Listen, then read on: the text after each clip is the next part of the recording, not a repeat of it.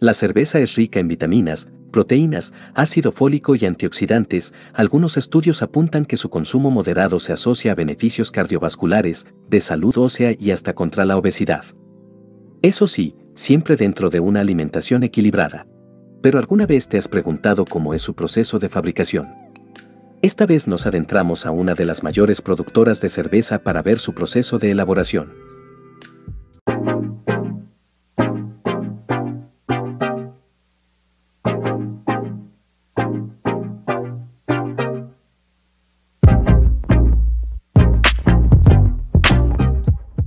La cerveza requiere de cuatro ingredientes esenciales, agua, malta, lúpulo y levadura. Estos elementos son procesados para que la bebida pueda embotellarse y salir al mercado, pero ¿en qué consiste este procedimiento? Lo primero que hay que saber es que todo empieza por el malteado, esto consiste que los granos de cebada pasan a través de un proceso de germinación controlado llamado malteado, con el objetivo de activar las enzimas presentes en el grano que convertirán el almidón en azúcares fermentables.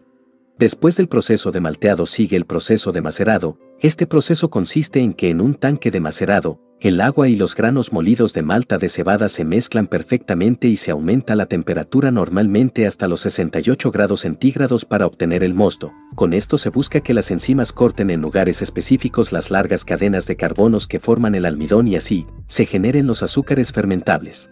Luego se pasa al proceso de cocimiento, que consiste en que en una olla de cocimiento se le adiciona lúpulo al mosto para que aporte el amargor y el aroma característico de la cerveza. Por lo general este proceso dura 60 minutos, después se lleva a cabo el whirlpool, un procedimiento donde los restos no deseados de lúpulo y cebada se trasladan al centro de la olla de cocimiento, así se evita que sean transferidos al intercambiador de calor y al fermentador.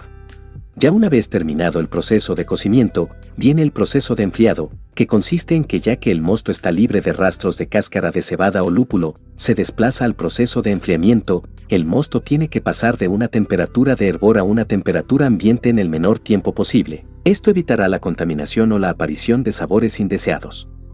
Paso seguido, se pasa al proceso de fermentación que es uno de los pasos más importantes durante el proceso cervecero. En esta parte la levadura transforma los azúcares fermentables del mosto en alcohol y CO2. Este proceso dura entre 6 a 12 días independientemente si la cerveza es de la familia Ale, Lager o de fermentación salvaje o espontánea. Por último, pero no el menos importante, se pasa al proceso de maduración que consiste en que la cerveza requiere de un periodo de maduración. En los tanques de acondicionamiento la bebida es sometida a bajas temperaturas para que el sabor y el aroma se estabilicen y se logre el balance deseado. En el caso de la cerveza sale, el proceso es más rápido ya que no se deja madurar tanto tiempo en el tanque en frío, a diferencia de las cervezas lager que pueden permanecer un mínimo de dos semanas en esta etapa.